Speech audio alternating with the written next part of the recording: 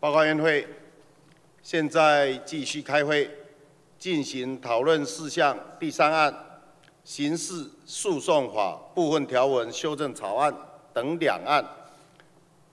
本案经第一会期第十四会议决议协商后再行处理，现已完成协商，请宣读协商结论。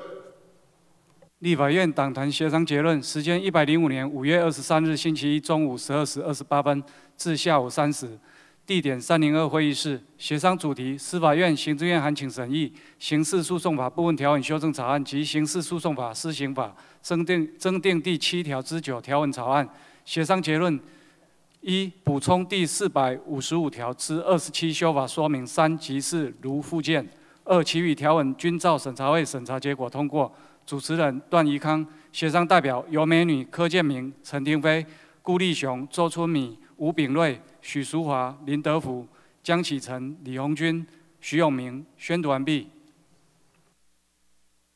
请问内会对以上协商结论有异议？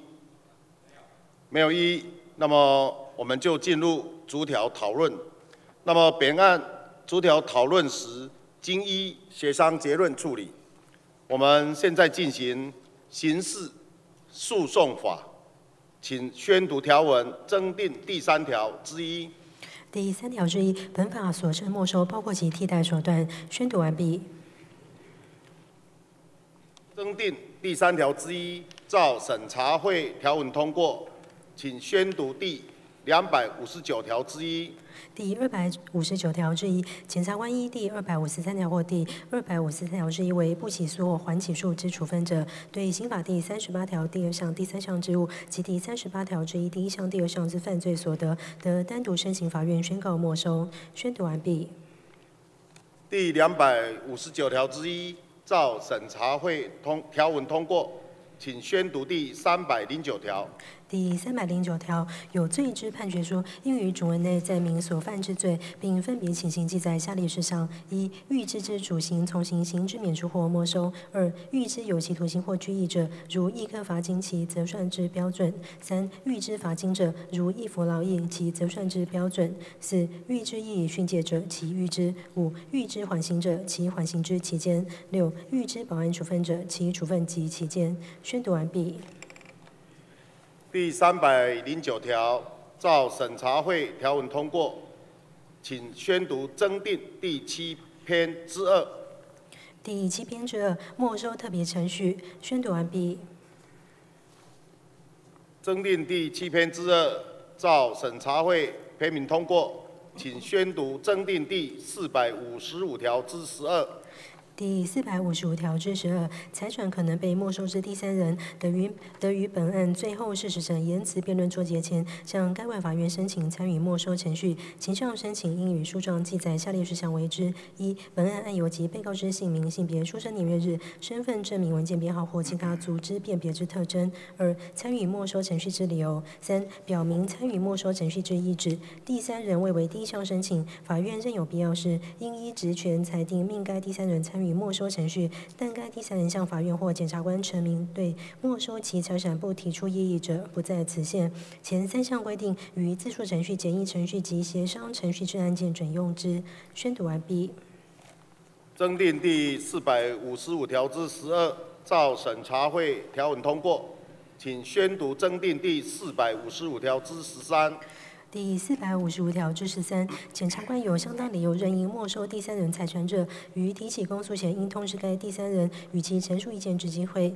检察官提起公诉时，认应没收第三人财产者，应于起诉书记载该意志，并即通知该第三人下列事项：一、本案案由及管辖法院；二、被告之姓名、性别、出生年月日、身份证明文件编号或其他足资辨别之特征；三、应没收财产之名称、种类、数量及其他足以特定。之事项四构成没收理由之事实要旨及其证据五得向管辖法院申请参与没收程序之一之检察官于审理中任应没收第三人财产者，得以言辞或书面向法院申请。宣读完毕。增订第四百五十五条之十三，照审查会条文通过，请宣读增订第四百五十五条之十四。第四百五十五条之十四，法院对于参与没收程序之申请，于裁定前应通知申请人、本案当事人、代理人、辩护人或辅佐人，与其陈述意见之机会。宣读完毕。增订第四百五十五条之十四，照审查会条文通过，请宣读增订第四百五十五条之十五。第四百五十五条之十五，案件调查证据所需时间费用与没收之申请显不相当者，经检察官或自自诉代理人同意后，法院得免予没收。检察官或自诉代理人等于本案最后事实审言辞辩论终结前，撤回前项之同意。宣读完毕。增订第四百五十五条之十五，照审查会条文通过，请宣读第增订第四百五十五条之十六。第四百五十五条之十六，法院认为申请参与没收程序不合法律上之程式，或法律上不应准许或无理由者，应以裁定驳回之；但其不合法律上之程式可补正者，应定期间限命补正。法院认为申请参与没收程序有理由者，应为准许之裁定，前项裁定不得抗告。宣读完毕。增订第四百五十五条之十六，照审查会条文通过，请宣读增订第四百五十五条之十七。第四百五十五条之十七，法院所谓第三人参与没收程序之裁定，应记载诉讼进行程度、参与之理由及得不待其到庭陈述进行预知没收之旨。宣读完毕。增订第四百五十五条之十七，照审查会条文通过，请宣读增订第四百五十五条之十八。第四百五十五条之十八，行简易程序协商程序之案件，经法院裁定第三人参与没收程序者，适用通常程序审判。宣读完毕。增订第四百五十五条之十八，照审查会条文通过，请宣读增订第四百五十五条之十九。第四百五十五条之十九，参与人就没收其财产之事项，除本编有特别规定外，准用被告诉讼上权利之规定。宣读完毕。增订第四百五十五条之十九，照审查会条文通过，请宣读增订第四百五十五条之二十。第四百五十五条之二十，法院应将审判期日通知参与人，并送达关于没收其财产事项之文书。宣读完毕。增订第四百五十五条之二十，照审查会条文通过，请宣读增订第四百五十五条之二十一。第四百五十五条之二十一，参与人得委任代理人到场，但法院认为必要时，得命本人到场。第二十八条至第三十条、第三十二条、第三十三条第一项及第三十五条第二项之规定，于参与人之代理人准用之。第一项情形，如有必要命参与人本人到场者，应传唤之；其经合法传唤无正当理由不到场者，得拘提之。第七十一条、第七十二条至第七十四条、第七十七条至第八十三条及第八十九条至第九十一条之规规定，于前项参与人之传唤及具体准用之。宣读完毕。增订第四百五十五条至二十一，照审查会条文通过，请宣读增订第四百五十五条至二十二。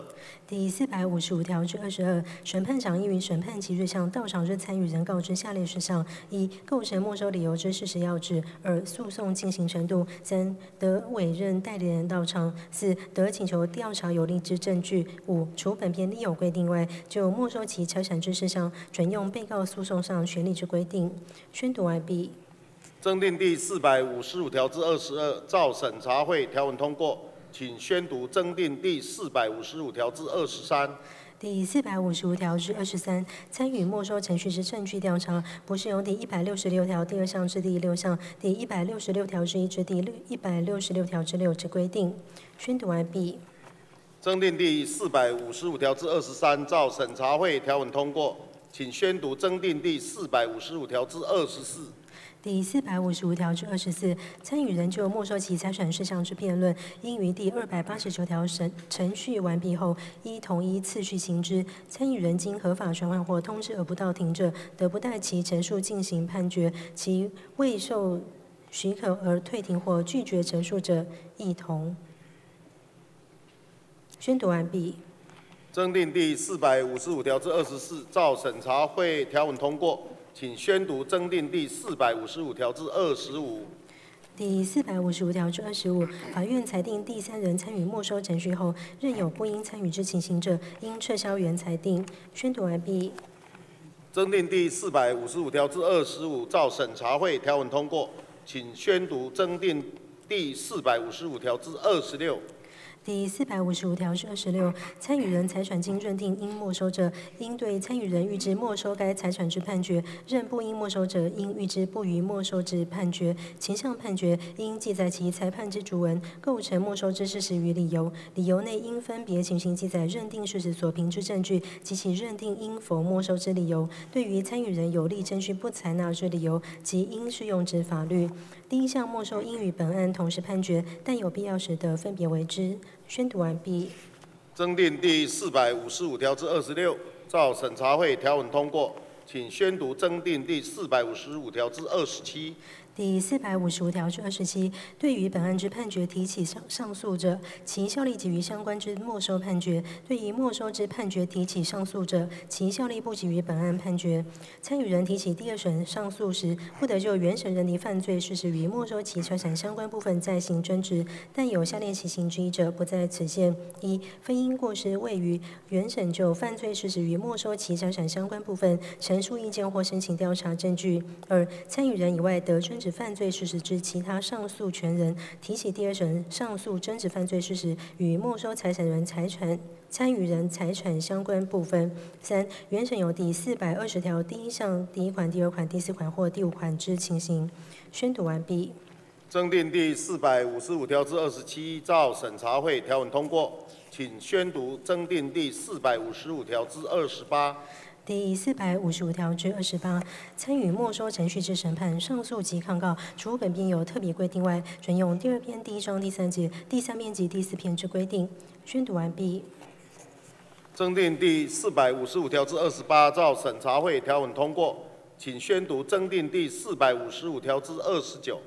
第四百五十五条之二十九，经法院判决没收财产确定之第三人，非因过失未参与没收程序者，得于知悉没收确定判决之日起三十日内，向预知该判决之法院申请撤销；但自判决确定后已逾五年者，不得为之。前项申请应于书面记载下列事项：一、本案案由；二、申请撤销宣告没收判决之理由及其证据；三、遵守不变期间之证据。宣读完毕。增订第四百五十五条至二十九，照审查会条文通过，请宣读增订第四百五十五条至三十。第四百五十五条至三十，申请撤销没收确定判决，无停止执行之效力，但管辖法院之检察官于撤销没收确定判决之裁定前，得命停止。宣读完毕。增订第四百五十五条至三十，照审查会条文通过，请宣读增订第四百五十五条至三十一。第四百五十五条至三十一，法院对于撤销没收确定判决之申请，应通知申请人、检察官及自诉代理人，与其陈述意见之机会。宣读完毕。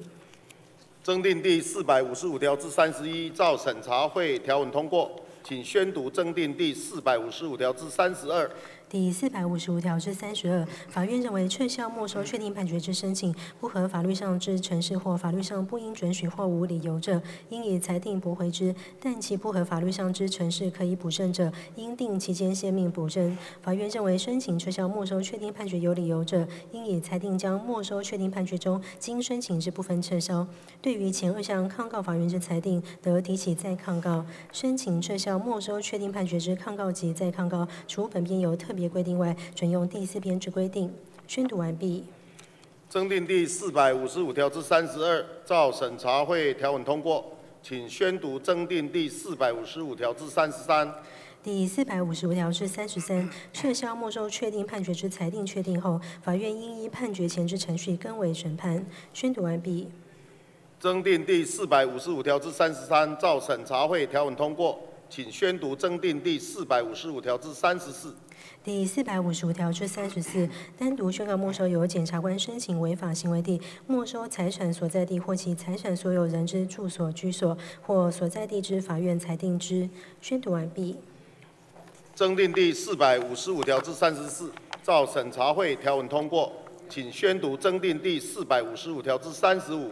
第四百五十五条至三十五，前条申请，检察官应以书状记载下列事项，提出以管辖管辖法院为之：一、应没收财产之财产所有人姓名、性别、出生年月日、住居所、身份证明文件编号或其他组织辨别之特征，但财产所有人不明时，得不予记载；二、应没收财产之名称、种类、数量及其他足以特定没收物或财产上利益之事项；三、应没收财产所由来之违法事实及证据，并所涉法条；四、构成单独宣告没收理由之事实及证据。宣读完毕。增订第四百五十五条之三十五，照审查会条文通过，请宣读增订第四百五十五条之三十六。第四百五十五条之三十六，法院认为单独宣告没收之申请不合法律上之程式或法律上不应准许或无理由者，应以裁定驳回之；但其不合法律上之程式可以补正者，应定期间生命补正。法院认为申请单独宣告没收有理由者，应为准许之裁定。对于前二项抗告法院之裁定，得提起再抗告。宣读完毕。增订第四百五十五条之三十六，照审查会条文通过。请宣读增订第四百五十五条至三十七。第四百五十五条至三十七，本篇关于第三人参与没收程序之规定，于单独宣告没收程序准用之。宣读完毕。增订第四百五十五条至三十七，照审查会条文通过。行政院版提案第四百五十五条至三十八不予增订。请宣读第四百七十条。第四百七十条，罚金、罚还、没收及没入之裁判，应依检察官之命令执行之。但罚金、罚还与裁判宣誓后，如经受裁判人同意而检察官不在场者，得由法官当庭指挥执行。前项命令与民事执行名义有同一之效力，罚金及没收得就受刑人之遗产执行。宣读完毕。第四百七十条，照审查会条文通过，报院会。全案经过二读，现有民进党党团提议继续进行三读，请问院会有意无意，请宣读经过二读之条文。第三条之一，本法所称没收，包括其替代手段。第二百五十九条之一，检察官依第二百五十三条或第二百五十三条之一为不起诉或缓起诉之处分者，对刑法第三十八条第二项、第三项之物及第三十八条之一第一项、第二项之犯罪所得，得申单独申请法院宣告没收。第三百零九条，有罪之判决书，应于主文内记。应于主文内载明所犯之罪，并分别情形记载下列事项：一、预知之主刑从刑刑之免除或没收；二、预知有期徒刑或拘役者，如一科罚金其折算之标准；三、预知罚金者，如一服劳役其折算之标准；四、预知役以训诫者，其预知；五、预知缓刑者，其缓刑之期间；六、预知保安处分者，其处分及期间。第七编之二，没收特别程序。第四百五十五条之十二，财产可能被没收之第三人，得于本案最后事实审言辞辩论终结前，向该会法院申请参与没收程序。前项申请应于书状记载下列事项为之：一、本案案由及被告之姓名、性别、出生年月日、身份证明文件编号或其他组织辨别之特征；二、参与没收程序之理由；三、表明参与没收程序之意志。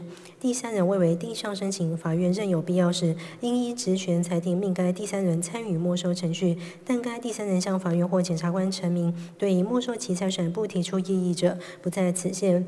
前三项规定于自诉程序、简易程序及协商程序之案件准用之。第四百五十五条之十三，检察官有相当理由认应没收第三人财产者，于提起公诉前，应通知该第三人与其陈述意见之机会。检察官提起公诉时，认应没收第三人财产者，应于起诉书记载该意志，并即通知该第三人下列事项：一、本案案由及其管辖法院；二、被告之姓名、性别、出生年月日、身份证明文件编号或其他足资辨别之特征；三、应没收财产之名称、种类、数量及其他足。以特定之事项；四、构成没收理由之事实要旨及其证据；五、得向管辖法院申请参与没收程序之意志。检察官于审理中任意没收第三人财产者，得以言辞或书面向法院申请。第四百五十五条之十四，法院对于参与没收程序之申请，于裁定前应通知申请人本案当事人、代理人、辩护人或辅佐人，与其陈述意见之机会。第四百五十五条之十五，案件调查证据所需时间、费用与没收之申请显不相当者，经检察官或自诉代理人同意后，法院得免予没收。检察官或自诉代理人等于本案最后事实审、言辞辩论终结前，撤回前撤回前项之同意。第四百五十五条之十六，法院认为参与。法院认为，申请参与没收程序不合法律上之程式或法律上不应准许或无理由者，应以裁定驳回之；但其不合法律上之程式可补正者，应定期间限命补正。法院认为，申请参与没收程序有理由者，应为准许之裁定，其项裁定不得抗告。第四百五十五条之十七，法院所为第三人参与没收程序之裁定，应记载诉讼进行程度、参与之理由及得不待其到庭陈述进行预知没收之旨。第四百五十五条之十八，行简易程序协商程序之案件，经法院裁定第三人参与没收程序者，适用通常程序审判。第四百五十五条之十九，参与人就没收其财产之事项，除本面有特别规定外，准用被告诉讼上权利之规定。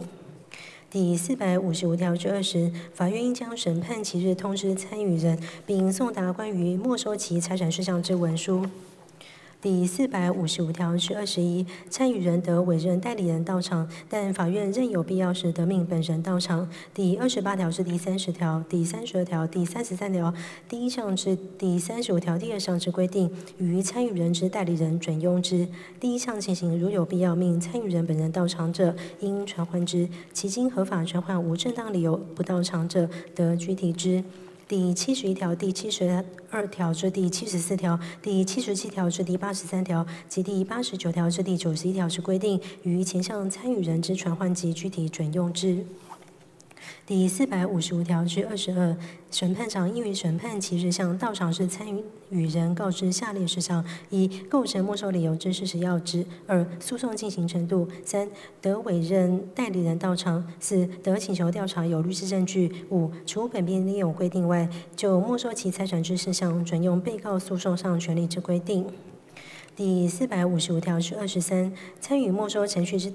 之证据调查不适用第一百六十六条第二项至第六项、第一百六十六条之一至第一百六十六条之六之规定。第四百五十五条之二十四，参与人就没收其财产事项之辩论，应于第二百八十九条程序完毕后，依同一次序行之。参与人经合法传唤或通知而不到庭者，得不待其陈述进行判决；其未受许可而退庭或拒绝陈述者，一同。第四百五十五条之二十五，法院裁定第三人参与没收程序后，任有不应参与之情形者，应撤销原裁定。第四百五十五条之二十六，参与人财产经认定应没收者，应对参与人预知没收该财产之判决；认不应没收者，应预知不予没收之判决。前项判决应记载其裁判之主文、构成没收之事实与理由。理由内应分别情形记载认定事实所凭之证据及其认定应否没收之理由。对于参与人有利证据不采纳之理由及应适用之法律。第一项没收应与本案同时判决，但有必要时的分别为之。第四百五十五条至二十七，对于本案之判决提起上诉者，其效力及于相关之没收判决；对于没收之判决提起上诉者，其效力不及于本案判决。参与人提起第二审上诉时，不得就原审认定犯罪事实与没收其财产相关部分再行争执，但有下列情形之一者，不在此限：一、非因故事未于原审就犯罪事实与没收其财产相关部分陈述意见或申请调查证据；二、参与人以外的专指犯罪事实之其他上诉权人提起第二审上诉争执犯罪事实与没收参与人财产相关部分；三、原审有第四百二十条第一项第一款。第二款、第四款或第五款之情形。第四百五十五条至二十八，参与没收程序之审判、上诉及抗告，除本编有特别规定外，准用第二篇第一章第三节、第三篇及第四篇之规定。第四百五十五条之二十九，经法院判决没收财产确定是第三人，非因过失未参与没收程序者，得于执行没收确定判决之日起三十日内，向预知该判决之法院申请撤销。但自判决确定后已逾五年者，不得为之。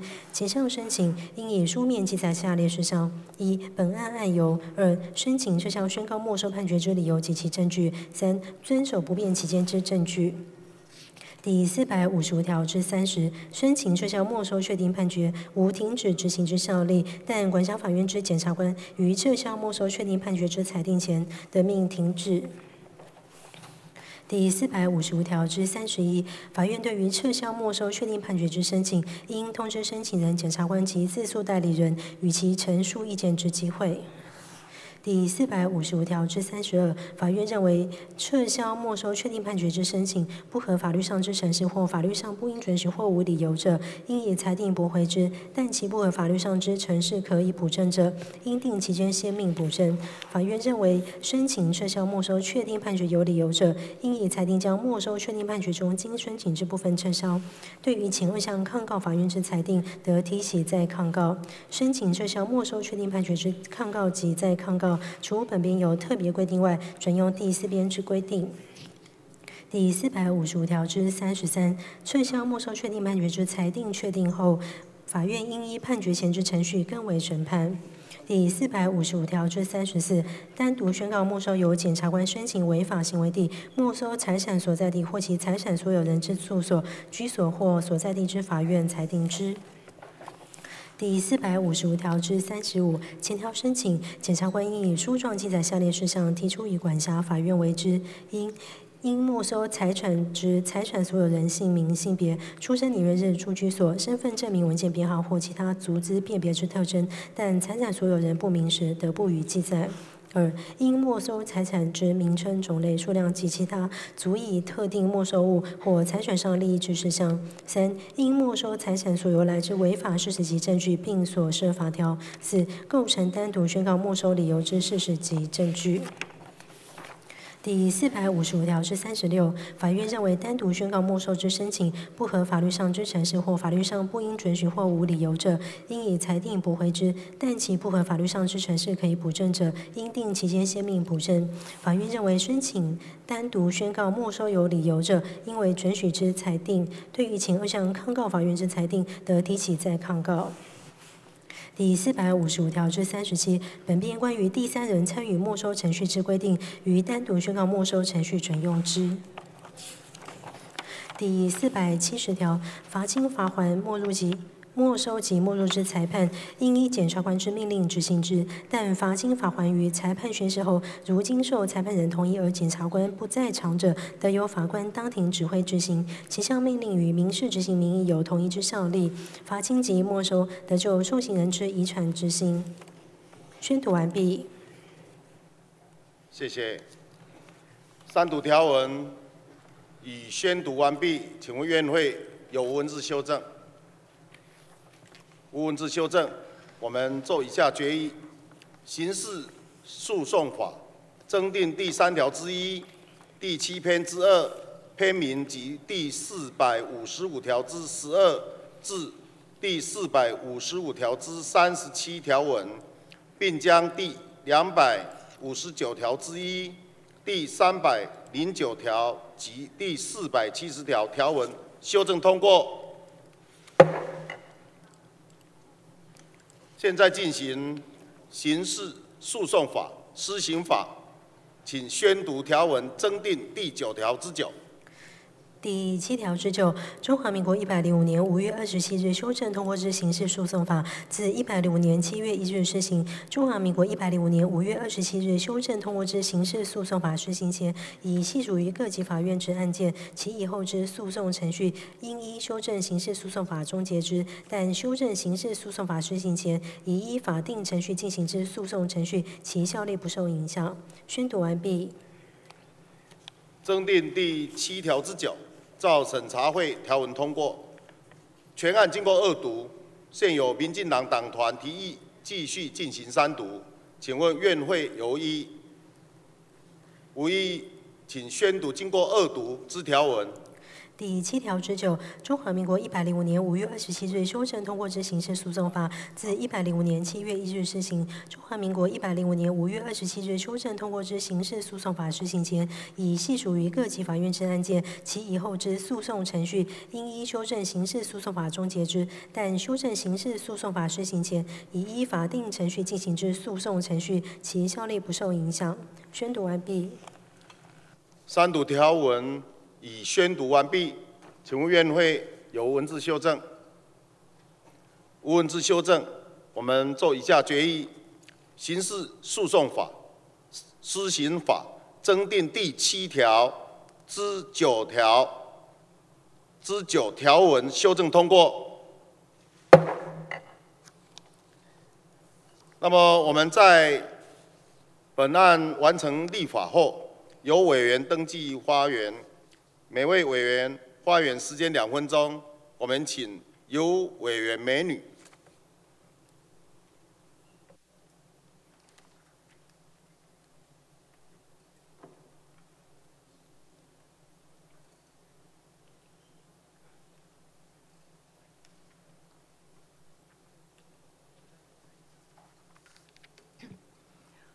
主席、各位同仁，大家好。这次刑事诉讼法的修正，主要是因应去年年底刑法修正所必须要的这些的配套措施。大家都记得去年的食安的事件的爆发，距离现在已经两年。在当时许多资讯不对等的落差跟机调机关协调不一致的情况之下，造成民众对于啊这个法感情还有这个的一个巨大的一个冲击，那以及呢社会信任的一个撕裂，人民没有办法了解，对于这样的一个啊违反道德情感的一个商业的行为，作用上亿的财产，为什么不能够予以没收？但是大家不了解到说法法学法理上的一个繁复的一个逻辑的演练。那所以呢，在去年呢通过了这刑法的一个啊没收呢，让它能够扩充到对第三人的一个财产的一个没收。但是我们知道，在实体法上扩充了对第三人财产的没收，我们就必须要在程序法上对这些所谓的正当法律的程序予以保障，这样才符合人权。所以呢，在经过一年多的这个努力呢，终于在这一次啊，我们的这个终于协商呢，能够让这一次对于没收的在刑事诉讼法上程序的保障的一个正当法律程序呢，让它能够完备。所以这次呢，要非常感谢啊，在这一届里面呢，加入了这个辜立雄委员，还有周春明委员啊，那他们的这个加入呢，让这个我们整个一个修法呢，能够呃更扎实。那同时也感谢呢各个不分党派，那不论是法学背景或不是法学背景的这些的各个委员，大家的努力，以及司法院跟法务部呢，愿意呢不紧锣密鼓的共同的协商，让我们这一次的这个啊没收的这个程序呢，能够在七月一号实体法实施的时候，能够同。步上路，那再一次呢，谢谢所有委员大家共同的努力，让从去年食安啊纷纷扰攘的这个没收的制度呢，终于能够上路。再一次谢谢。谢谢尤委员。那么我们所有登记发言的委员，均已啊发言完毕。我们现在开始处理讨论事项第四案，刑事诉讼法部分条文修正草案。请宣读审查报告。本院司法及法制委员会于一百零五年四月二十八日、五月四日及五月十九日召开全体委员会议，审查本案，由召集委员林维洲、段义康分别担任主席。除邀请委员说明提案要旨外，亦请相关机关指派代表列席说明，并答复委员询问。本案于四月二十八日就委员林维洲等十八人之提案进行提案说明报告及询答完毕。五月四日进行大体讨论，五月十九日再就委员顾立雄等三十二人之提案进行提案说明。报告及询答完毕，旋即逐案进行逐条审查，将本案审查完竣。原经决议，以上二案均审查完竣，并按拟具审查报告提起院会公决。院会讨论起人需要由党团协商。院会讨论时，由短召集委员乙康出席说明。宣读完毕。谢谢。现在请召集委员段委员宜康补充说明。好，不说明。那么本案经审查会决议，需交由党团协商，现已完成协商，请宣读协商结论。立法院党团协商结论，时间一百零五年五月二十三日星期一中午十二时二十八分至下午三时，地点三零二会红楼三零二会议室，协商主题。委员顾立雄等三十二人拟具刑事诉讼法部分条文修正草案，及委员林维洲等十八人拟具刑事诉讼法部分条文修正草案。协商结论：委员林维洲等十八人拟具刑事诉讼法第四百五十五条之二，照审查会审查结果通过，并请法务部补充修法说明如附件。二，请委员顾立雄补充委员顾立雄等三十二人拟具刑事诉讼法部分条文修正草案第一百三十三条之一修法说明如附件。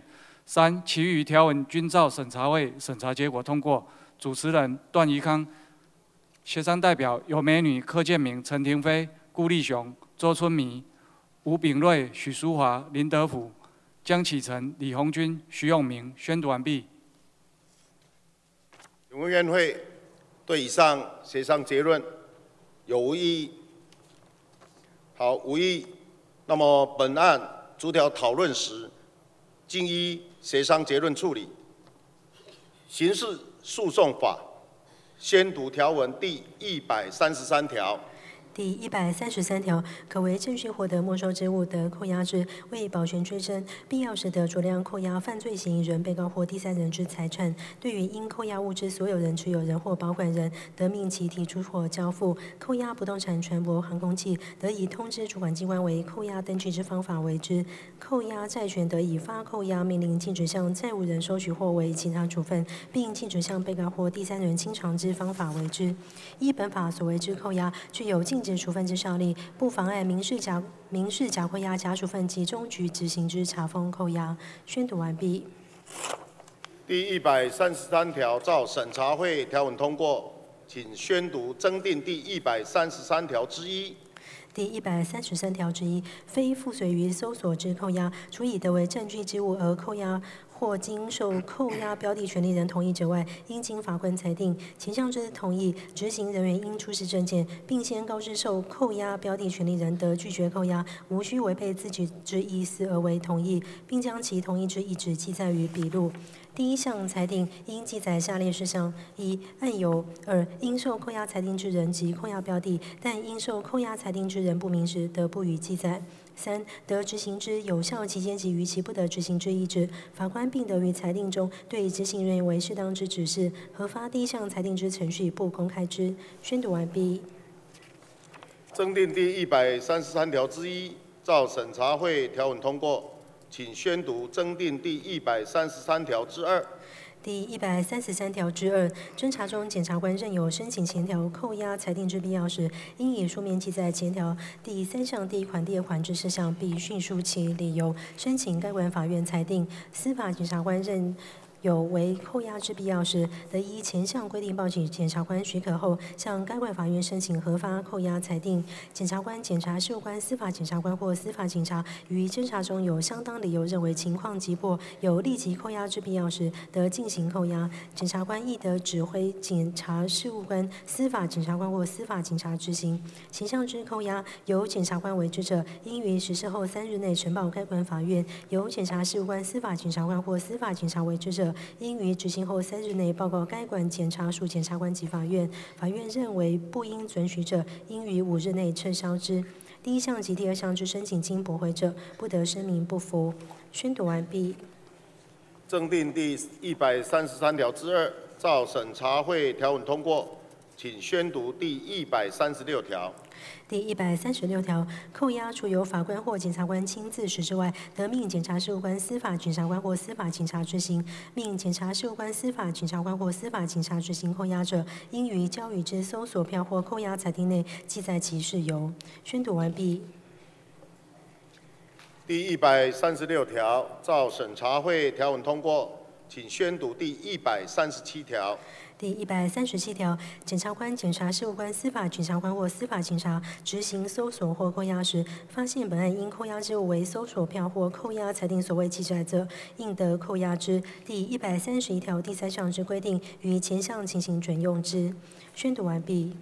第一百三十七条，照审查会条文通过，请宣读第一百四十一条。第一百四十一条，得没收或追征之扣押物有丧失、毁损、减低价值之余，或不便保管、保管续费过去者，得变价之，保管其价金。前项变价，侦查中由检察官为之，审理中法院得嘱托地方法院民事执行处代为执行。宣读完毕。第一百四十一条，照审查会条文通过，委员林维洲等提案第一百四十一条之一不予采纳。增订第一百四十二条之一，请宣读。第一百四十二条之一，得没收或追征之扣押物，法院或检察官依所有人或权利人之申请，认为适当者，得以裁定或命令定相当之担保金，予缴纳后撤销扣押。第一百十九条之一之规定，于担保金之存管、计息发还准用之。宣读完毕。增订第一百四十二条之一，照审查会条文通过，请宣读第一百四十三条。第一百四十三条，被告犯罪嫌疑人或第三人遗留在犯罪现场之物，或所有人、持有人或保管人任意提出或交付之物，经留存者，准用前五条之规定。宣读完毕。第一百四十三条，照审查会条文通过，请宣读第一百四十五条。第一百四十五条，法官、检察官、检察事务官、司法警察官或司法警察执行搜索及扣押，除依法得不用搜索票或扣押裁定之情形外，应以搜索票或扣押裁定是第一百四十八条在场之人。宣读完毕。第一百四十五条，照审查会条文通过，请宣读第三百十条。第三百十条，有罪之判决书应于理由内分别情形记载下列事项：一、认定犯罪事实所凭之证据及其认定之理由；二、对于被告有利之证据不采纳者，其理由；三、科刑时就刑法第五十七条或第五十八条规定事项所审酌之情形；四、刑法有加重、减轻或免除者，其理由；五、易以训诫或缓刑者，其理由；六、预知没收保安处分者，其理由；七、适用之法律。宣读完毕。第三百十条，照审查会条文通过，请宣读增订第三百十条之三。第三百十条之三，除以有罪判决预知没收之情形外，预知没收之判决应记载其裁判之主文，构成没收之事实与理由。理由内应分别情形记载认定事实所凭之证据及其认定之理由。对于被告有利证据不采纳之理由及应适用之法律。宣读完毕。增订第三百十条之三，照审查会条文通过，请宣读第四百零四条。第四百零四条，对于判决前关于管辖或诉讼程序之裁定，不得抗告，但下列裁定不在此限：一、有得抗告之明文规定者；二、关于羁押、拒保、责付、限制住居、搜索、扣押或扣押物发还、变价、担保金、身体检查、通讯监察，应鉴定将被告送入医院或其他处所之裁定，及第一百零五条第三项、第四项所为之禁止或扣押之裁定；三、对于限制辩护人与被告接近或互通书信之裁定。前向第二款、第三款之裁定已执行终结，受裁定人亦得提起抗告，法院不得以已执行终结而无协议为由驳回。宣读完毕。第四百零四条，照审查会条文通过，请宣读第四百十六条。第四百十六条，对于审判长、受命法官、受托法官或检察官所为下列处分有不服者，受处分人的申请所属法院撤销或变更之，处分已执行终结，受处分人亦得申请，法院不得以已执行终结而无实意为由驳回。一、关于基羁押、拒保、责付、限制住居、搜索、扣押或扣押物发还、变价、担保金，应鉴定将被告送入医院或其他处所之处分，身体检查、通讯监察及第一百零五条第三项、第四项所为之禁止或扣押之处分；二、对于证人、鉴定人或通译科罚还之处分；三、对于限制辩护人或与被告接近或互通书信之处分；四、对于第三十四条第三项指定之处分，前项之搜索、扣押金撤销者，审判时法院的宣告所扣的之物不得作为证据。第一项申请期间为五日，自为处分之日起算；其为送达者，自送达后起算。第四百零九条至第四百十四条规定，与本条准用之。第二十一条第一项规定，与申请撤销或变更受托法官之裁定者，准用之。宣读完毕。第四百十六条，照审查会条文通过，请宣读第四百五十五条之二。第四百五十五条之二，处所犯为死刑、无期徒刑、最轻本刑三年以上有期徒刑之罪，或高等法院管辖第一审案件者外，案经检案件经检察官提起公诉或申请简易判决处刑，于第一审言辞辩论终结前或前一判决处刑前，检察官得于征询被害人之意见后，进行或依被告或其代理人、辩护人之请求，经法院同意，就下列事项于审判外进行决商。经当事人双方合意且被告认罪者，由检察官申请法院改依协商程序而为判决。一、被告愿受科刑及没收之范围，或愿意接受缓刑之宣告；二、被告向被害人道歉；三、被告支付相当数额之赔偿金；四、被告向公库支付一定金额，并得由该管检察署依规定提拨一定比率补助相关公益团体或地方支持团体。检察官就前项第二款、第三款事项与被告协商，应得被害人之同意。第一项之协商期间不得逾三十日。第一项第四款提拨比率、收支运用及监督管理办法，由行政院会同司法院另定之。宣读完毕。第四百五十五条之二，照审查会条文通过。委员林维洲等提案第四百五十五条之十二不予采纳，请宣读第四百七十三条。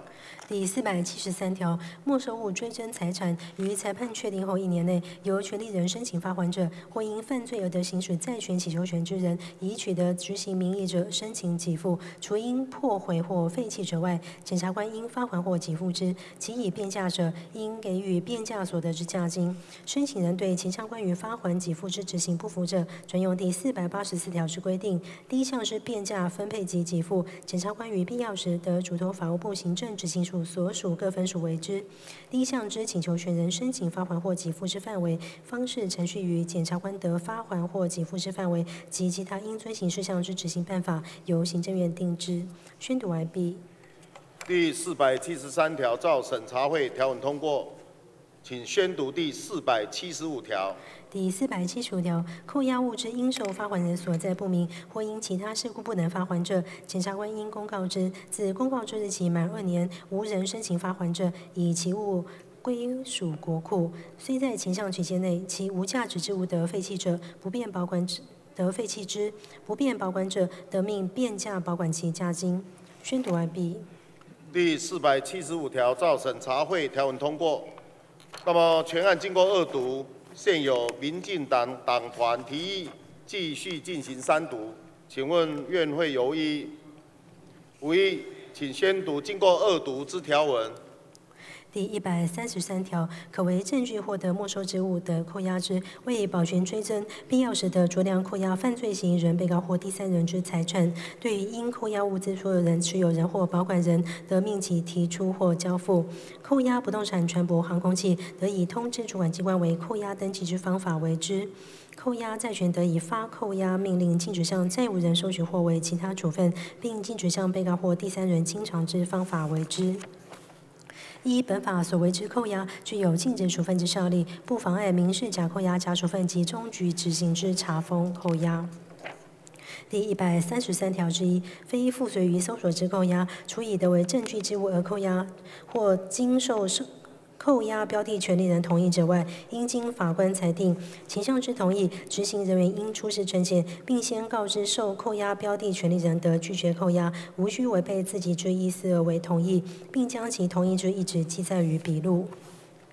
第一项裁定应记载下列事项：一、案由；二、应受扣押裁定之人及扣押标的，但应受扣押裁定之人不明时，得不予记载；三、得执行之有效期间及逾期不得执行之一旨，法官并得于裁定中对执行人员为适当之指示，核发第一项裁定之程序，不公开之。第一百三十三条之二，侦查中检察官任有申请前条扣押裁定之必要时，应以书面记载前条第三项第一款、第二款之事项，并叙述理由，申请该管法院裁定。司法检察官认为。任有为扣押之必要时，得依前条前项规定报请检察官许可后，向该管法院申请核发扣押裁定。检察官、检察事务官、司法检察官或司法警察于侦查中有相当理由认为情况急迫，有立即扣押之必要时，得进行扣押。检察官亦得指挥检察事务官、司法检察官或司法警察执行。前项之扣押由检察官为之者，应于实施后三日内呈报该管法院，由检察事务官、司法检察官或司法法警察为之者，应于执行后三日内报告该管检察署检察官及法院。法院认为不应准许者，应于五日内撤销之。第一项及第二项之申请经驳回者，不得声明不服。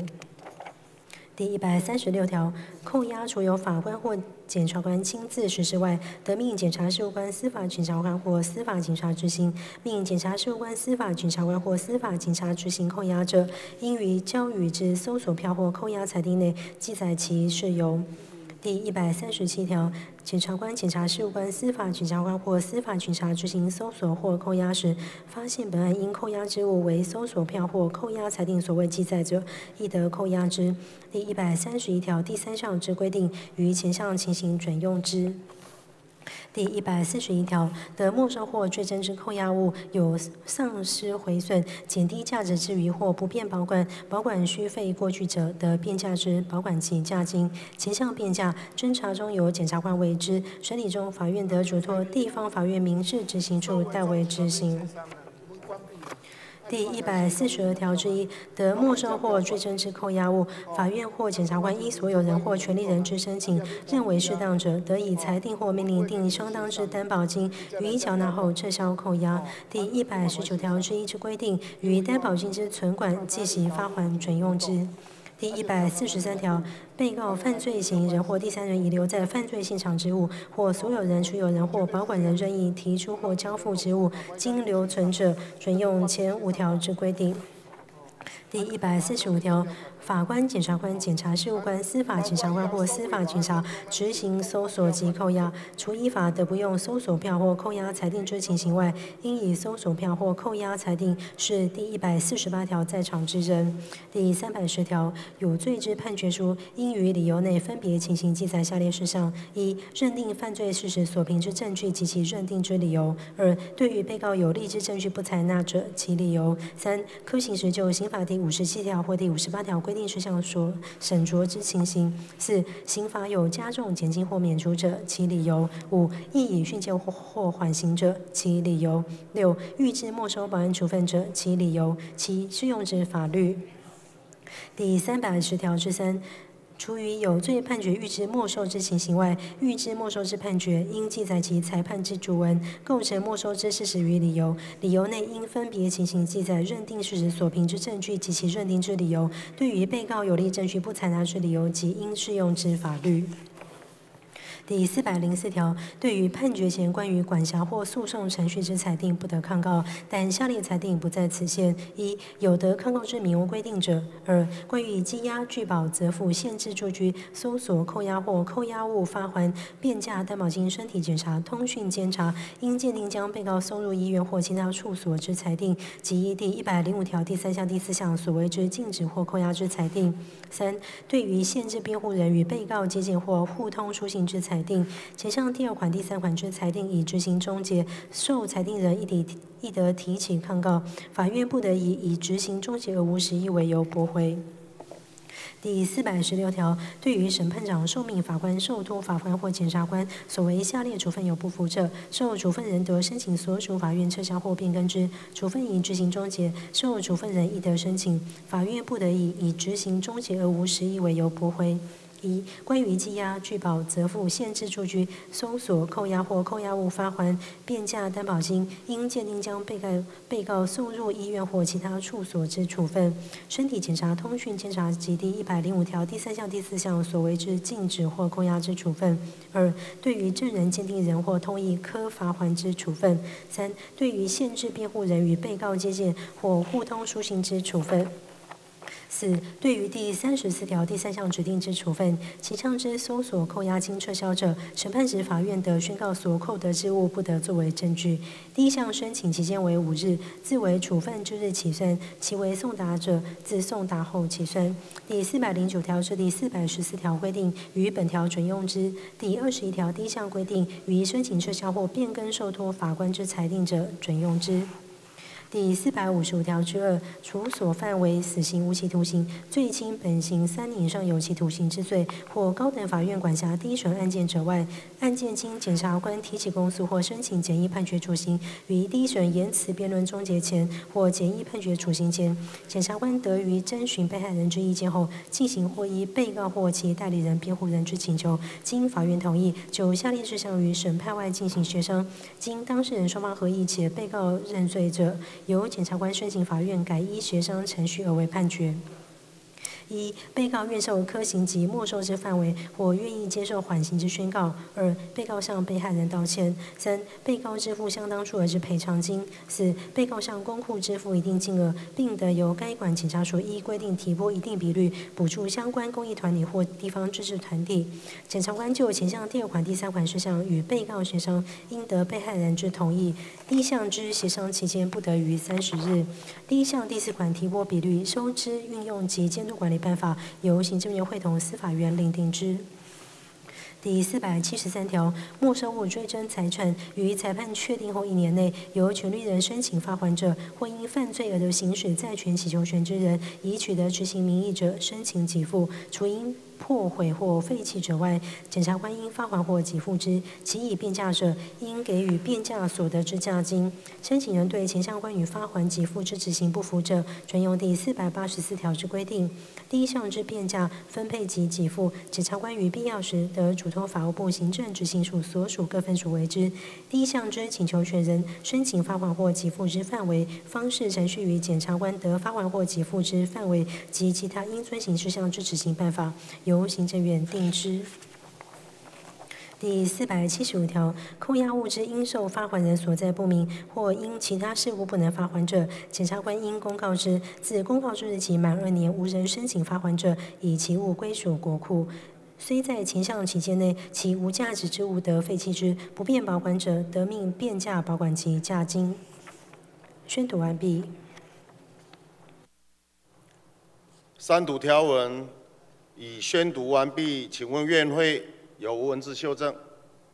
无文字修正，那么我们做以下决议：刑事诉讼法增订第一百三十三条之一、第一百三十三条之二、第一百四十二条之一及第一百十条之三条文，并将第一百三十三条、第一百三十六条、第一百三十七条、第一百四十一条。第一百四十三条、第一百四十五条、第三百十条、第四百零四条、第四百十六条、第四百五十五条之二、第四百七十三条及第四百七十五条条文修正通过。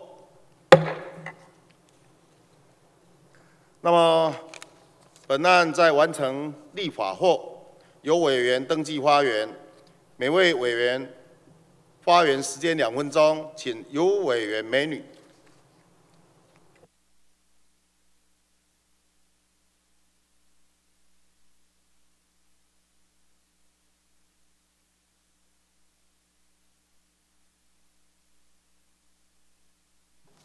啊，主席，各位同仁，嗯，在为了配合这个没收，能够给予。啊，第三人，但是为了保障他的正当的程序，刚刚已经通过对第三人参与整个一个诉讼程序的一个保障。但是呢，对于这些的没收，如果不能够事先的保全的话，那将形同虚设。所以呢，在这一次呢，通过了就是所谓的配套措施呢，对于保全的啊一个啊规定。那在这里呢，因为对于保全的这个。扣押呢，它其实也是对于人民财产权的一个啊干预的强制处分，所以对于这个部分呢，也必须要有法官的保留和正当的法律程序呢，来保障人民的这个宪法上所保障的一个基本的一个权利。那有鉴于呢，我国过去呢对于这个扣押的这个相关的法规呢不足，所以呢为了确保国家日后呢对于这所谓的利得的追征的实现呢，那避免新修正的刑法刑法修法的一个例子落空呢，所以修订了保全扣押的相关条文，同时呢要兼顾人民的财产不受到国家公权力的一个恣意的剥夺，所以明定呢应该要遵守法官保留的这个原则。可是呢为为了应验实务上的需要，所以呢把这个所谓的得为证据之物。还有扣押物，如果经过所有权人同意的。之的时候呢，那可以呢不予法官保留。但是呢，为了顾及呢人民的这个权利，我们也希望说，将来检察官呢在实行这个所谓的不需要法官保留这样的一个情形呢，也能够意识到说，他这样的一个行为是会侵害到人民的基本权利的这个底线呢，也能够克制而严谨的去操作这些条文，那不至于呢不当的滥用呢，然后来避免呢法官的一个保留啊，这个法官保留这样的一个设计啊，所以呢在这里呢啊也再一次谢谢我们所有的啊同仁，那以及呢。司法院还有法务部呢，大家的一个紧锣密鼓的一个讨论呢，能够让这样的一个保全扣押的条文，能够跟我们的制度呢一起上路。谢谢。谢谢于委员。那么，所有登记发言的委员经已发言完毕，我们啊来进行讨论事项第五案：中华民国刑法第三十八条之三。及第四十条条文修正草案等二案，请宣读审查报告。本院司法及法制委员会于一百零五年五月十九日召开全体委员会议审查本案，由司法及法制委员会段兆吉委员于康担任主席，邀请司法院秘书长林景芳、法务部政务次长陈明堂报告并被质询，并邀请相关机关派员列席说明及答复委员询问。经报告及询答完毕后，其逐案进行逐条审查，经缜密思考、反复研讨，将全案审查完竣。原经决议，本案均审查完竣，并按案。拟具审查报告提报院会公决。院会讨论时，由段兆景委员康出席说明。本案需交由党团协商。宣读完毕。好，谢谢。那么现在请召集委员段委员宜康补充说明。没有说明。那么本案经审查会决议，需由需交由党团协商，现已完成协商，请宣读协商结论。立法院党团协商结论：时间一百零五年五月二十三日星期一中午十二时二十八分至下午三时，地点红楼三零二会议室。协商主题：委员顾立雄等三十人拟具《中华民国刑法》第三十八条之三条文修正草案，《中华民国刑法施行法》第十条之三条文修正草案及委员曾明忠等十六人拟具《中华民国刑法》第四十条条文修正草案。协商结论。一、委员曾明忠等十六人拟具《中华民国刑法》第四十条条文修正草案，不予采纳。二、《中华民国刑法施行法》第十条之三条文予以修正。三、其余条文照审查会审查结果通过。主持人段宜康，协商代表有美女柯建明、陈廷飞、顾立雄、周春米、吴炳瑞、许淑华、林德福、江启臣、李红军、徐永明。宣读完毕。请问院会。对以上协商结论有异，无异。那么本案逐条讨论时，经依协商结论处理。我们先进行《中华民国刑法》，请宣读条文第三十八条之三。第三十八条之三、第三十八条之五及第三十八条之一之犯罪所得之所有权或其他权利，予没收裁判确定时，已转为国家所有。前项情形，第三人对没收标的之权利或因犯罪而得行使之债权，均不受影响。第一项之没收裁判，于确定前具有禁止处分之效力。宣读完毕。第三十八条之三，照审查会条文通过。委员曾明忠等提案第四十条不予采纳。那么全案经过二读，现有民进党党团提议继续进行三读，请问院会由于无意，请宣读经过二读之条文。第三十八条之三、第三十八条之五及第三十八条之一之犯罪所得之所有权或其他权利，于没收裁判确定时已转为国家所有。其项情形，第三人对没收标的之权利或因犯罪而得行使之债权，均不受影响。第一项之没收裁判，于确定前具有禁止处分之效力。宣读完毕。三读条文已宣读完毕，请问院会有无文字修正？没有文字修正，我们做以下决议：中华民国刑法第三十八条之三条文修正通过。继续进行中华民国刑法施行法，请宣读条文第十条之三。第十条之三，中华民国一百零四年十二月十七日及一百零五年五月二十七日修正之刑法，自一百零五年七月一日施行；一百零五年七月一日施行前施行之其他法律关于没收、追征、追缴、抵偿之规定，不再适用。宣读完毕。第十条之三，照协商条文通过，全案经过二读，现有民进党党团提议继续进行三读，请问院会有异？无异，请宣读经过二读之条文。第十条之三，中华民国一百零四年十二月十七日及一百零五年五月二十七日修正之刑法，自一百零五年七月一日施行；一百零五年七月一日前施行之其他法律关于没收、追征、追缴、抵偿之规定，不再适用。宣读完毕。三读条文已宣读完毕，请问院会有文字修正？无文字修正，我们做以下决议：中华民国刑法。施行法第十条之三条文修正通过。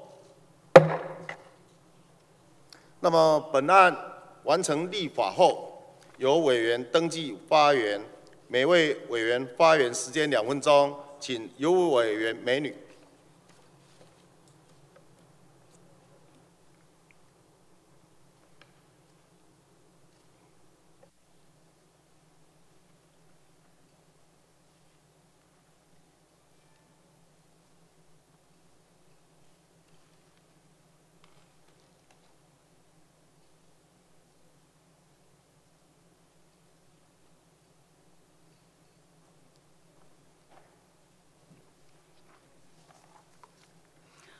主席还有我们在场的同仁，呃，这次法这是也是没收的一个配套的规定。那当然对于施行法的一个通过，那这里其实一个比较重要的是对于所谓的裁判确定之后，到底要不要再能够单独宣告没收的这个问题。固然在一般的人会觉得说，如果有黑心钱，不管他是怎么样，都应该要没收。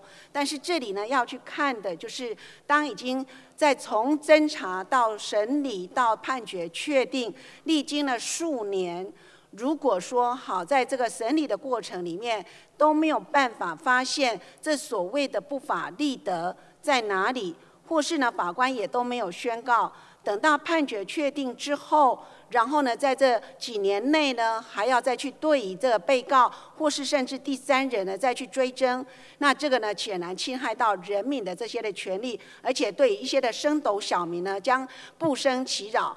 所以呢，为了保障人民的一个基本的权利呢，所以对于曾明忠委员所提的，就是在这个裁判确定之后。然后呢，还能够对于这些的被告呢，能够或是第三人能够再去单独宣告没收呢？我们觉得这是侵害人权呢，甚具的这个法案呢，所以呢不予通过。那至于呢施行法呢，就是让这个啊没收。那去年通过的没收，以及呢这个程序法上的刑事诉讼法的规定，那以及呢它的配套措施保全等等呢，全部都是在今年的七月一日呢同步上路，那来保障人民的这个权利，让这些所谓的不法的黑心钱能够被没收，但是也能够被保全，但是呢同时能够保障呢第三人被宣告没收的他的一个程序的参与权。所以一方面啊这个。保障人民的权利呢，同时也对这些的不法利得能够一个没收。那这样一个法案到此结束，谢谢。谢谢尤委员。那么所有登记发言的委员均已啊发言完毕。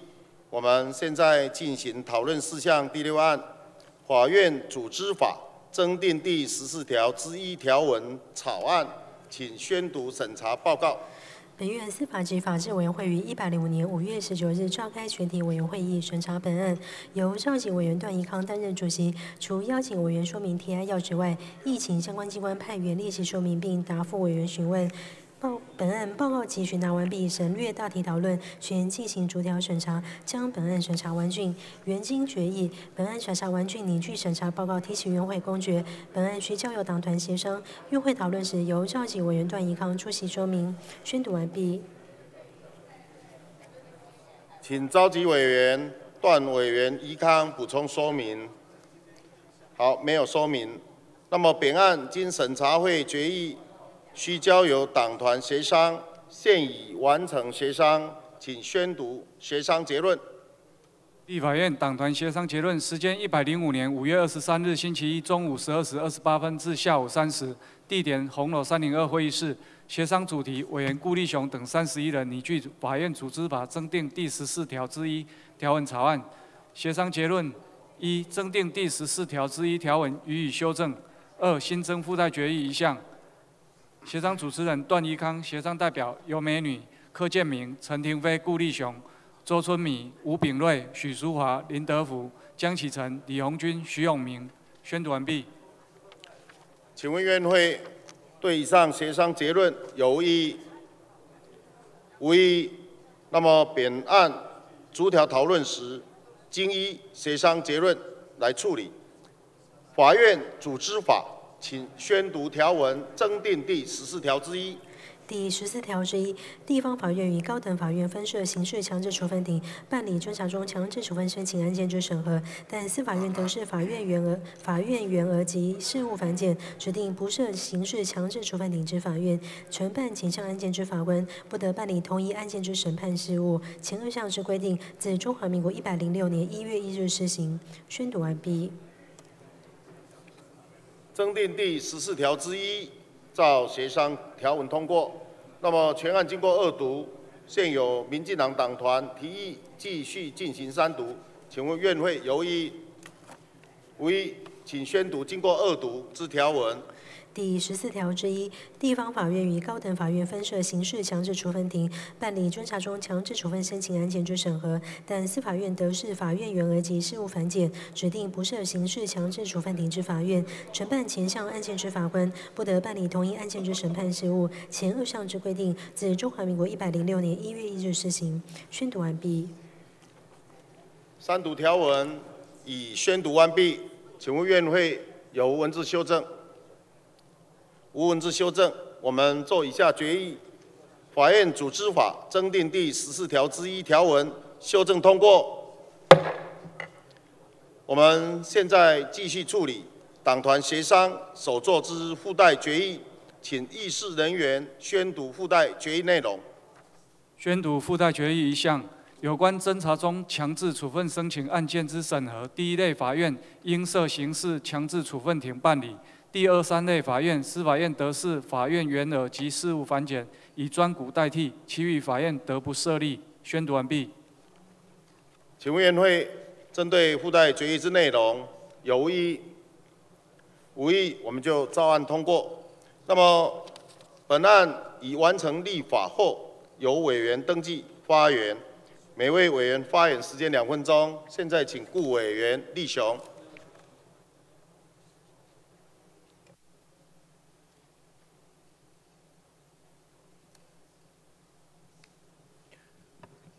啊，主席，各位同仁，很高兴能够有第一次的机会站在这里呢，就三读通过的条文发表感言。就刚刚相关通过的第三案到第六案的条文呢，我们可以知道，现在刑事诉讼法的没收会产生了非常非常重大的变革。其中呢，就没收的部分成为一个独立的处分，那而且就可以没收的扣押物呢，原则上。采法官保留的原则，也就是说，除非紧急的情况之下，一定要经过这个法官的同意。那么，为了因应这样子的一个新的没收制度，扣押采取法官保留原则，这其中还有一个非常非常重要的一个变革，就是刚刚通过了法院组织法的十四条之一，将所有刑事法相关的强制处分，包括了要申请羁押。包括要去申请搜索，包括要申请监听票，包括要申请鉴定的留置，以及这一次要申请扣押，乃至于可能的应印到提审的规定，都会成立了一个强制处分的专庭。这样的强制处分的专庭，我们要达到的，就是让它审核的标准要一致。在明年的一月一号以后，就会有十一个第一类的法院。要采强制处分的专庭，那么我们会严格的监督这样子的一个强制处分的专庭，他在审核要不要押人，要不要搜索？要不要鉴定留置？要不要监听？要不要提提提审的结果是如何？要不要没收来扣押？这个部分的标准要其一。也就是说，我们从司法改革，从以前的审判独立，现在进一步要提到所谓的克责。克责就是 accountability。我们一定要注意到，任何一个有权利的人，他在行使他的权利的时候，他的标准他是。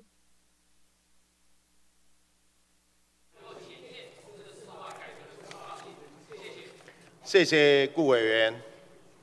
我们所有登记发言之委员已登记完毕。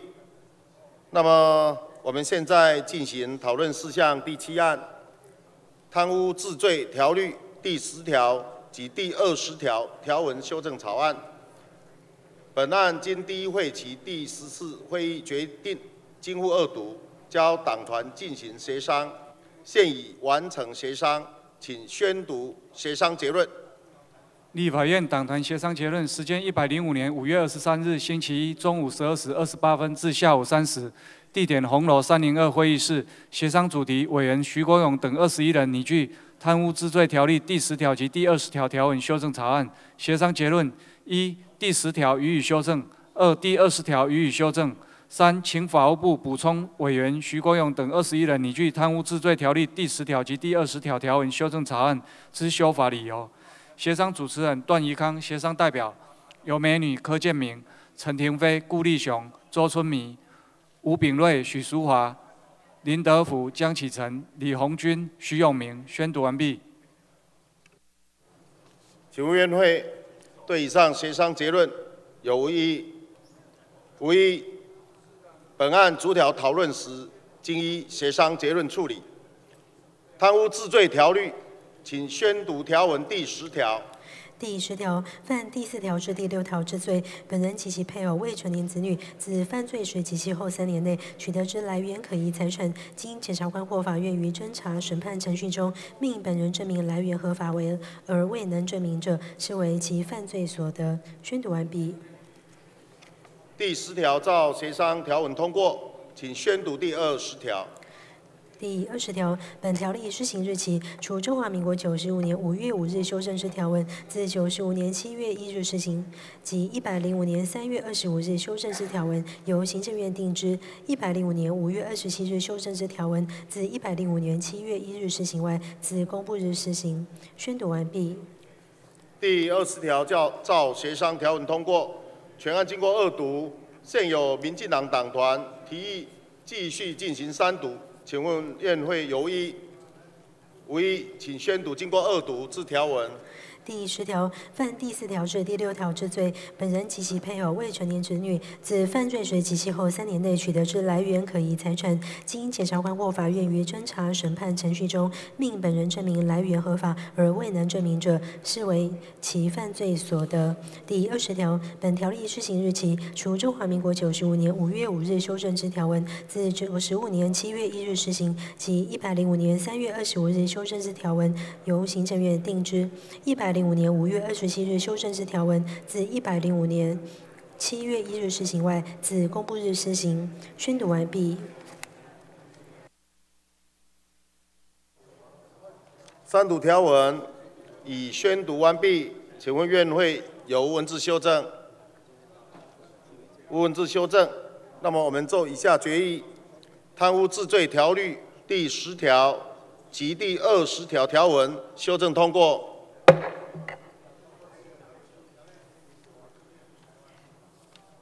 现在我们进行讨论事项第八案《毒品危害防治条例》第十八条、第十九条及第三十六条条文修正草案。本案经第一会期第十四会议第十四次会议决定，经复二读，交党团进行协商，现已完成协商，请宣读协商结论。立法院党团协商结论时间：一百零五年五月二十三日星期一中午十二时二十八分至下午三时，地点红楼三零二会议室。协商主题：委员徐光勇等二十二人拟具《毒品危害防治条例》第十八条、第十九条及第三十六条条文修正草案。协商结论：一、第十八条予以修正；二、第十九条予以修正；三、第三但第三十六条予以修正。是、请法务部补充委员徐国勇等二十二人拟具《毒品危害防治条例》第十八条、第十九条及第三十六条条文修正草案之修法理由。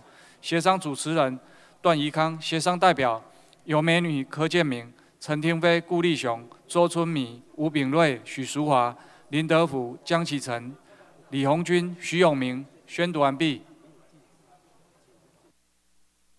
请委员会对以上协商结论有异议？无异议。那么本案逐条讨论时，经依协商结论处理。毒品危害防治条例，请宣读条文第十八条。第十八条，查获之第一、二级毒品及专供制造或使用第一、二级毒品之器具，不问属于犯罪行为人与否，均没收销毁之；查获之第三、四级毒品及制造或使用毒品之器具，无正当理由而擅自持有者，均没入销毁之。但合于医药研究或训练之用者，得不予销毁。其项合于医药研究或训练用毒品或器具之管理办法，由法务部会同卫生福利部定之。宣读完毕。第十八条照协商条文通过，请宣读第十九条。第十九条，犯第四条至第九条、第十二条、第十三条或第十四条第一项、第二项之罪者，其供犯罪所用之物，不问属于犯罪行为人与否，均没收之。犯第四条之罪所使用之水陆空交通工具，没收之。宣读完毕。第十九条照协商条文通过。请宣读第三十六条。第三十六条，本条例施行日期，除中华民国九十九年十一月五日修正之第二条之一、第二十七条及第二十八条；一百零四年一月二十三日修正之条文，自公布日施行；一百零五年五月二十七日修正之条文，自一百零五年七月一日施行外，自公布后六个月施行。宣读完毕。第三十六条，照协商条文通过，全案经过二读。现有民进党党团提议继续进行三读，请问院会有异？无异，请宣读经过二读之条文。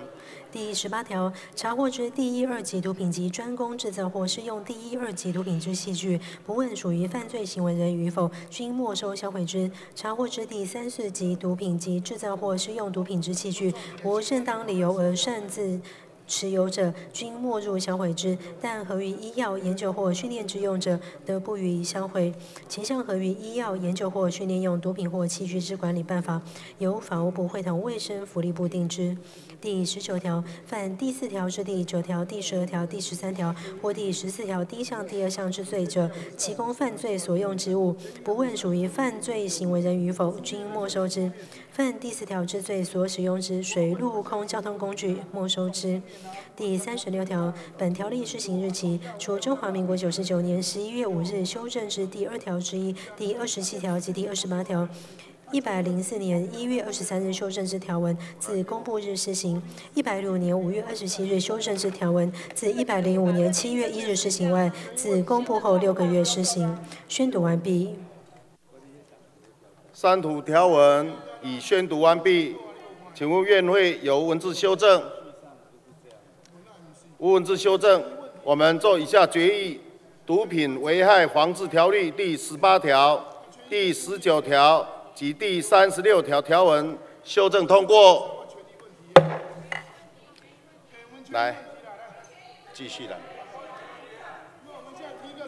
第九案。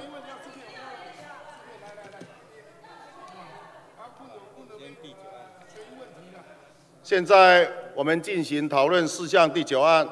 犯罪组织犯罪防治条例第七条条文修正草案，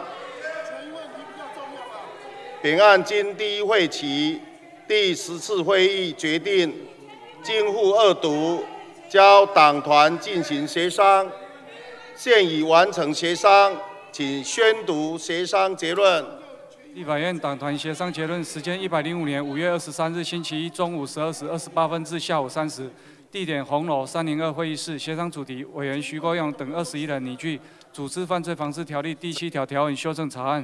协商结论：一、第七条条文予以修正；二、请法务部补充委员徐国勇等二十一人拟具《组织犯罪防治条例》第七条条文修正草案修之修法理由。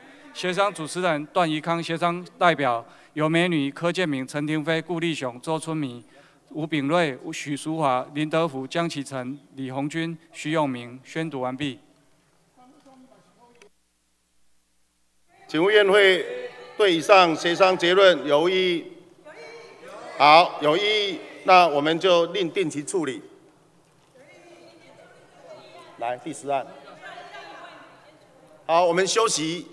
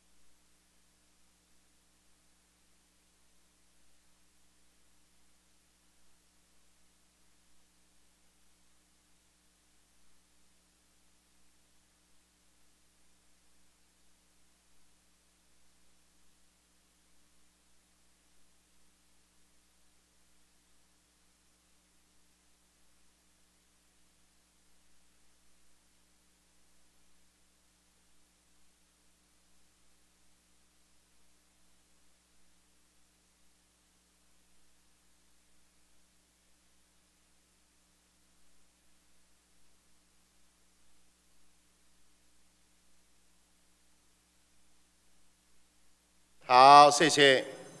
啊，报告院会，现在继续开会。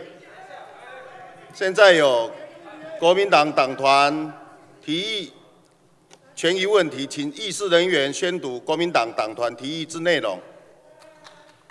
鉴于林权内阁在 WHA 中表现有失国格，只字不提台湾，严重矮化国家主权，引起国人强烈不满，原要求行政院院长林权、卫福部部长林奏言因为此怯懦表现，向全民道歉。宣读完毕。参考会议规范第八十四条，权益问题，只对一场偶发之紧急事件。足以影响议场全体或个人权益者，得提出权益问题。本案性质非权益问题，所以我们不予处理。好。好了，一一就表决吧。好。那么各位委员，对于本席之宣告，如果有异议，我们就依。立法院议事规则第三十二条规定进行表决。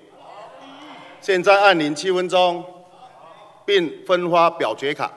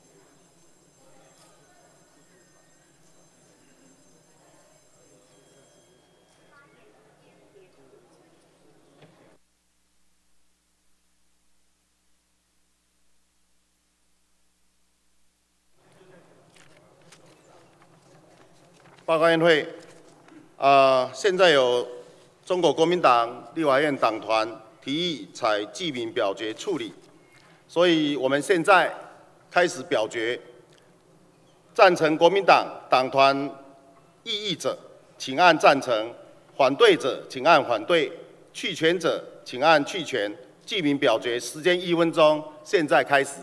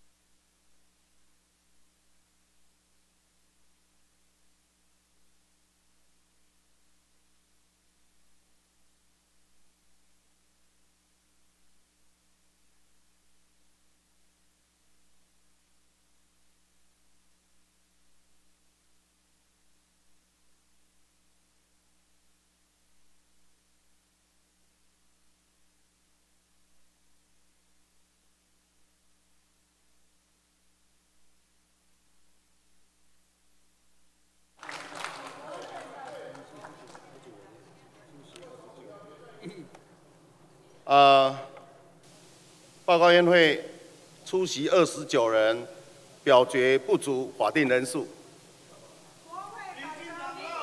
现在我们进行讨论事项第十案，总统交接条例草案。本案经第一会期第九次会议决议，交党团进行协商，现已协商完成，请宣读协商结论。立法院党团协商结论：时间一百零五年五月十七日星期二上午九时十六分至九时四十五分，地点红楼二零一会议室。协商主题：并案协商民进党党团拟具总统职务交接条例草案，委员李应元等十七人拟具总统职务交接条例草案；时代力量党团拟具总统副总统交接条例草案；亲民党党团拟具总统交接条例草案；国民党党团拟具总统副总统职务交接条例草案。委员李俊义等二十八人拟具总统职务交接条例草案，委员赖瑞龙等十六人拟具总统职务交接条例草案，委员赵天麟等十六人拟具总统交接条例草案。协商结论第九条予以修正，其余条文均照审查会审查结果通过。协商主持人段义康，协商代表林德甫、林维洲、顾立雄、柯建明、尤美女、黄国昌、江启臣、吴炳瑞、周春米、李俊义、陈廷飞、李李红军、徐永明。宣读完毕。好，谢谢。啊，请问院会对以上协商结论有异议？好，有异议，我们另外定期处理。这个好，报告院会。国民党党团提议清点人数，现在开始清点人数，请各位回座啊。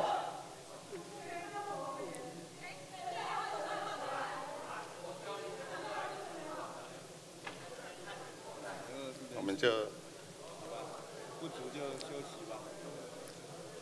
好，将人数报上来。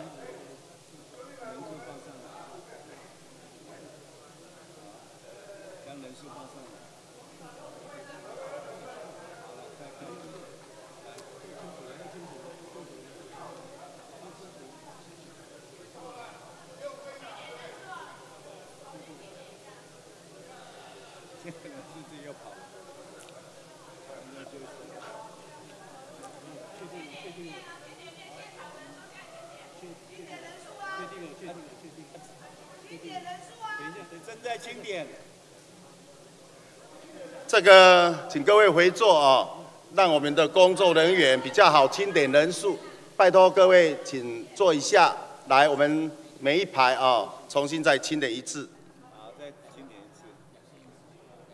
对了。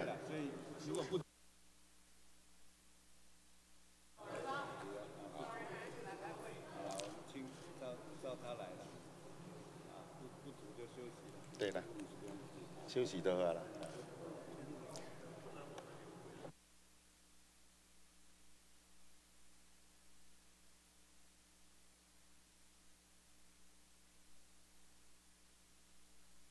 报告因为我们现在的出席在场人数二十二人，我们啊本次会议讨论事项处理到此为止。五月三十一号星期二上午九时继续开会，现在休息。